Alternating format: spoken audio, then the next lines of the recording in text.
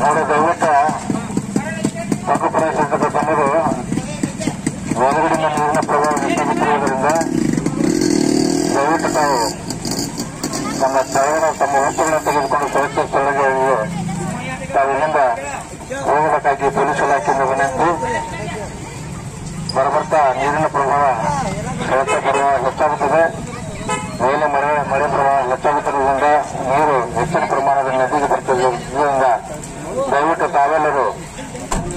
ತಮ್ಮ ವಸ್ತುಗಳನ್ನು ತೆಗೆದುಕೊಂಡು ಸುರಕ್ಷಿತ ಸ್ಥಳಗಳಿಗೆ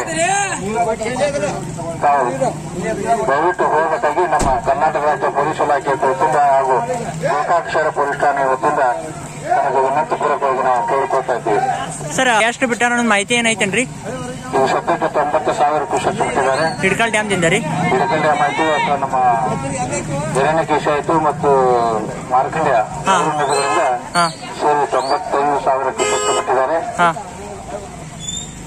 ರಾತ್ರಿ ಇದು ಹೆಚ್ಚಾಗುವಂತ ಪರಿಸ್ಥಿತಿ ಇದೆ.